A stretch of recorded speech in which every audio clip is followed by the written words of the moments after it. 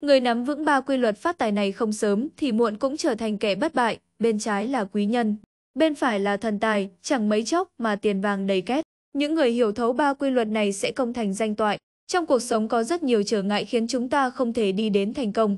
Nếu bạn đã nắm rõ bốn quy luật dưới đây thì việc vượt qua khó khăn để đạt được thành công và sự giàu có sẽ dễ dàng hơn bao giờ hết.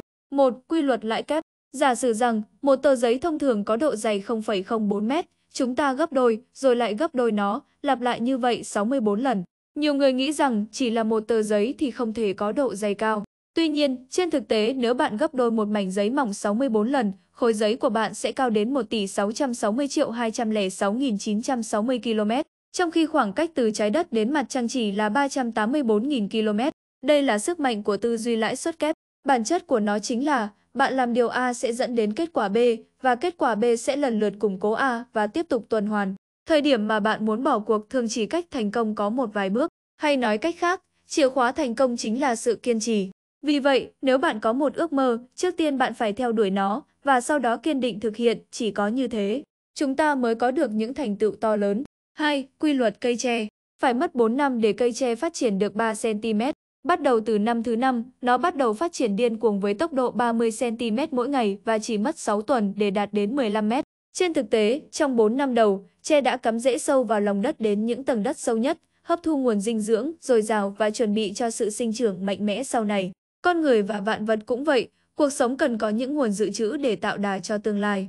Đừng lo lắng khi những nỗ lực của bạn vào thời điểm này chưa đem lại kết quả, bởi vì những cố gắng ở hiện tại chính là gốc rễ để bạn có những bước phát triển nhảy vọt sau này. Cuộc sống chính là vậy, sẽ thật đáng giá nếu bạn có thể chịu được sự mài rũa, chịu đựng sự cô đơn, gánh vác trách nhiệm và sứ mệnh của mình. Đừng ghen tị khi nhìn thấy ánh hào quang của người khác, đơn giản vì họ đã đánh đổi nhiều hơn bạn mà thôi. Ngày 3, quy luật Breaking Window.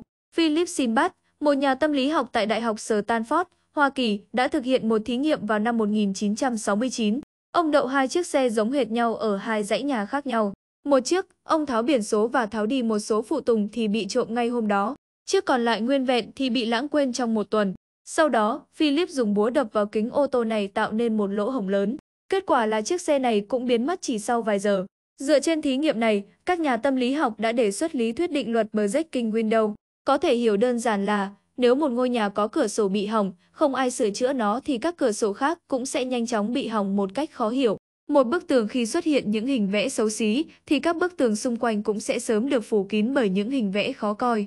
Người ta sẽ thấy xấu hổ khi vứt rác ở những nơi sạch sẽ, nhưng một khi rác xuất hiện, họ sẽ xả rác bừa bãi mà không hề do dự. Có vô số ví dụ về định luật này trong cuộc sống và nó muốn nói với chúng ta rằng mọi người cố gắng bảo vệ những điều tốt đẹp.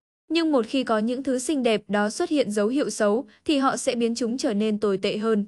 Khi bạn cho cho phép bản thân có lần đầu tiên thì sẽ có vô số lần tiếp theo trong tương lai. Khi trong bạn xuất hiện ý nghĩ bỏ cuộc thì chắc chắn sẽ có vô số lần tương tự. Cứ như thế, lối tư duy xấu này dần tồn tại trong bạn và đẩy bạn ra xa những thành công.